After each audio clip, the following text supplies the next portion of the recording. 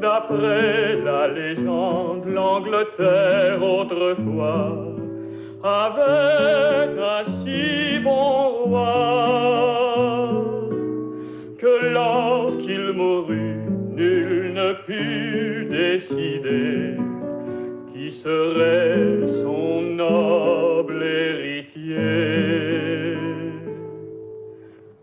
l'homme pénible son destin.